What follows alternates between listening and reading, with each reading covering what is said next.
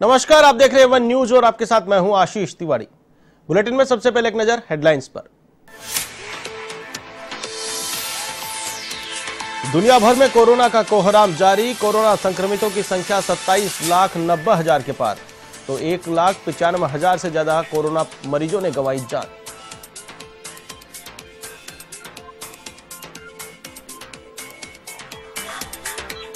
भारत में भी बढ़ रहा कोरोना का ग्राफ, संक्रमित मरीजों की संख्या चौबीस हज़ार के पार। वहीं अब तक 775 लोगों की गई जान तो 5000 से ज़्यादा कोरोना पॉजिटिव इलाज के बाद हुए स्वस्थ।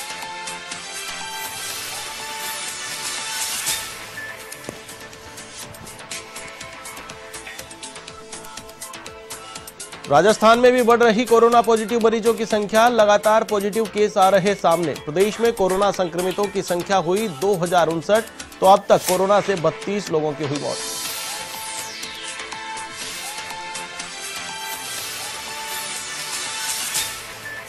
लॉकडाउन के बीच रमज़ान का पवित्र महीना शुरू, पीएम मोदी ने ट्वीट कर दी बधाई तो राहुल गांधी और सीएम गहलोत ने भी दी रमज़ान की मुबारकबाद।